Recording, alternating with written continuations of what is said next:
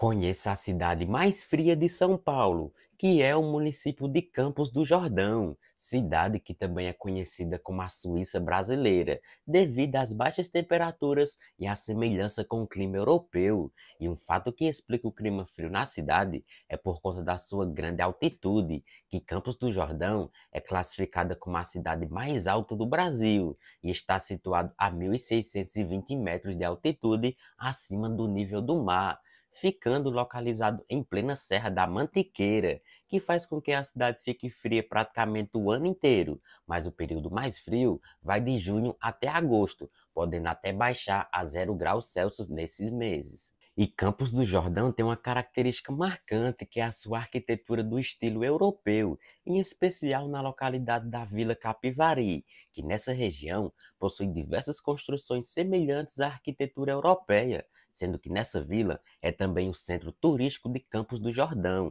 local onde se encontra vários restaurantes, cafeterias, lojas e é considerado ponto de encontro nas noites da cidade. E nas datas mais movimentadas acontecem shows, apresentações culturais nesse grande centro turístico do município. E ainda nessa Vila Capivari possui o famoso Parque Capivari, que é um dos locais mais visitados na cidade, que é formado por uma área de 40 mil metros quadrados com diversas atrações como pedalinho, teleférico, tirolesa e entre outros. E uma curiosidade que o teleférico de Campos do Jordão é um dos mais antigos do Brasil, que foi inaugurado em 1970, sendo um teleférico que percorre 500 metros de extensão, que liga o Parque Capivari até o Morro do Elefante, onde fica um incrível mirante da cidade, com 1.800 metros de altitude. E uma atração curiosa na cidade é o famoso bar gelado, que é todo feito de gelo, desde os sofás, poltronas, bancos, balcões até as paredes, sendo um ambiente com temperatura entre 15 graus negativos e 20 graus negativos.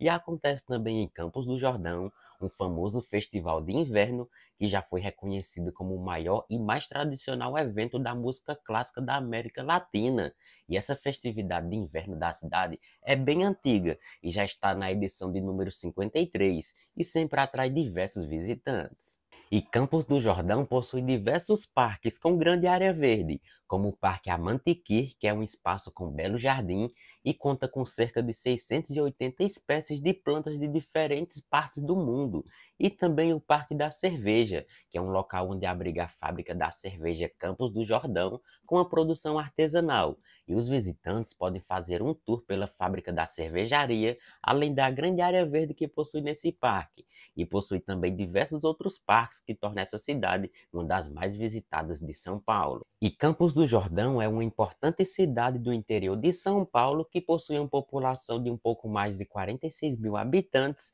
e fica a cerca de 183 quilômetros da capital paulista, sendo considerada a cidade mais fria do estado de São Paulo.